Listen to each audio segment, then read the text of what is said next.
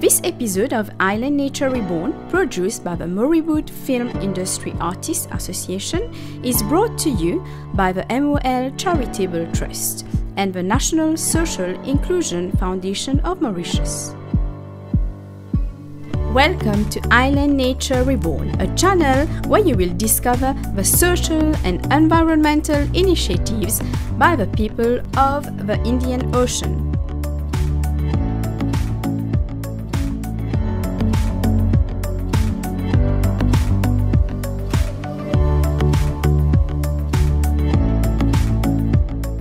Our vision is that each child can go to school with all their basic needs, foods and school materials.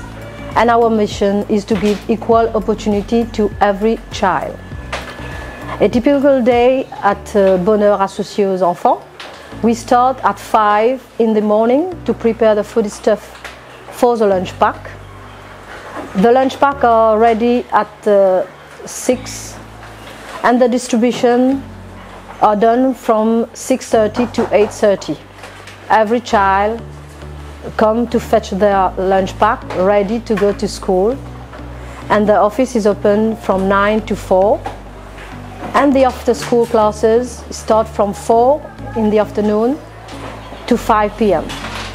When we started in year 2021, the children were very shy and distant some children who were also in low self-esteem situation where they did not have faith in themselves. But during these few years, uh, we have been witnessing that some children develop very, uh, in a good, uh, in a better way, more self-confident in themselves, and they have also confidence in our staff. Today, I can see that they are very happy uh, and at ease with each other whenever they are at the NGO. And sometimes they do not want to go to, to at home when the sessions uh, end. In the past, all NGOs uh, didn't uh, really work together. Uh, we were uh, on our own without willing to work together. But with MOLs, MOL since year 2022, uh, we have been on meeting, several meeting platforms where all the NGOs can meet and share their ideas. And then uh, we create a very positive uh, way to work together. So for example, this year our NGO Bonheur Associé, we have worked with uh, some NGOs such as Biodiversity, uh, Disability, Disabilities Empowerment Platform and Precious Plastic for uh, the climate change and also for the slum classes. So when we started uh, in year 2020, our source of fund was only from members, families and the neighborhood. We also do collection of food at the end of each month uh, in supermarkets in order to get all our food stuff to be able to prepare the food pack for the distribution of lunch pack uh, for the children on daily school days. The rest of the donations are distributed among the beneficiary through means of food pack and it was very difficult during the first year and thanks God we got unconditional support from MOL Charitable Trust during year 22 and 23.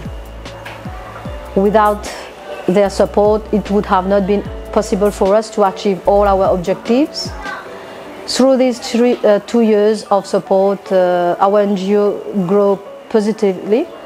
Our project Enfants Heureux is being done successfully and we implemented other projects and one of the second main project for year 2024 will be of our after school classes. Our help from uh, MOL is not uh, only in terms of funding but the fact that MOL helps several other NGOs and encourage all of us to work together, we, we are more powerful, so we can uh, put our effort together to, to help each other. And uh, through these uh, collaborations, we all benefit positively from uh, this. And one of our good outcome for year 23 this year. We're very proud that three of our five beneficiaries who take part from, uh, to the grade 6 exams, they got uh, really good pass mark as 4 units, 5 units and 12 units, very really, really good pass mark. And they have a good uh, score. This is a very, it's a very proud moment for our NGOs and for the children because this means that even if they are poor, if they are living in poor condition, they are not uh, worse than the other. They can do better, and we are very proud of this. And we, we wish to say a great thanks to MOL for this. Without MOL, uh, perhaps these children would have been absent to school, and it's very important for us to say thank you on behalf of our beneficiaries. Thank you,